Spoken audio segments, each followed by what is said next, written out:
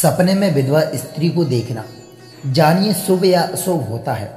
नमस्कार प्रिय मित्रों, एक बार स्वागत है आप सभी दर्शक बंधुओं का, हमारे YouTube चैनल जीवन ज्ञान स्टोरी में। प्रिय मित्रों, आज हम फिर से आपके लिए नई वीडियो, नई जानकारी लेकर के आए हैं। इसलिए मैं आपसे निवेदन करता हूँ, कृपया करके आप हमारे इस वीडियो के लास्ट तक हमारे इस चैनल पर अवश्य बने रहें। प्रिय मित्रों, आज जो मैं जानकारी आपको लेकर के हाजिर हुआ हूँ, यह जानकारी बहुत ही कमाल की एवं बेहतर होने वाली है। तो ऐसे ही, मित्रों, बिना किसी देरी के अब शुरू करते हैं आज की इस कमाल की और बेहतर कहानी को। मित्रों, सपने में विधवा स्त्री को देखना शुभ या अशुभ होता है, हम सभी लोग जानते हैं। जब किसी स्त्री का पति मर जाता है, तब उस स्त्री को सब विधवा कहते हैं। आज हम विधवा से संबंधित एक सपने के अर्थ के बारे में बताएँगे। मित्रों, विधवा स्त्री को सपने में देखना शुभ या अशुभ होता है। इसको देखने के बाद आने वाले जीवन में क्या क्या बदलाव आएँगे? क्या ऐसे सपने अच्छे होते हैं या बुरे होते हैं? ऐसे कई सवाल आप ज़रूर सोच रहे होंगे तो इसमें कोई चिंता ना करें।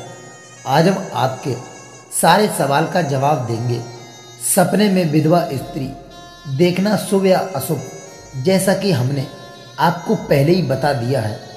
विधवा स्त्री किसे कहते हैं?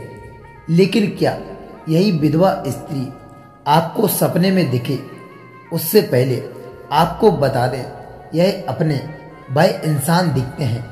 जिन्होंने हाल में ही अपने खानदान में किसी की मृत्यु देखी हो या किसी औरत को रोते हुए देखा हो, वह लोग अधिकतर इस तरह के सपने देखते हैं।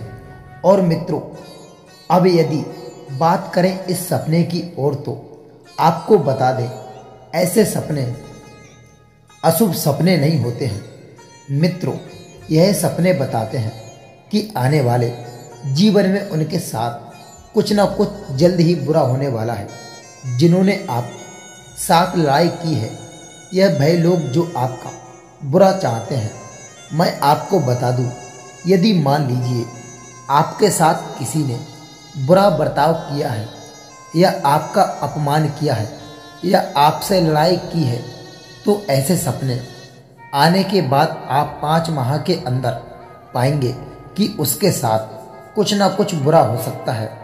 आपके दुश्मन के घर में किसी की मृत्यु हो जाए या किसी दुश्मन व्यक्ति का स्वभाव खराब हो जाए, ऐसा अवश्य ज़रूर देखने के लिए मिल जाएगा। तो ऐसे सपने आपके दुश्मन के लिए अच्छे नहीं होते हैं। इससे आपको कोई भी हानि नहीं होगी और ना ही आपके घर में किसी को ऐसे सपने आने के बाद आपको डरने की कोई आवश्यकता नहीं है। तो मित्रों यह थी आज की वीडियो। मुझे उम्मीद है कि आपको यह वीडियो पसंद आया होगा। इसी तरह की और भी वीडियो देखने के लिए हमें कमेंट करके ज़रूर बताएँ और जुड़े रहें हमारे यूट्यूब चैनल जीवन ज्ञान स्टोरी में। जय श्री कृष्णा, जय श्री श्याम। हम मिलते हैं आप लोगों को अगले एक और नई वीडियो के साथ। तब तक के लिए टाटा, गुड बाय।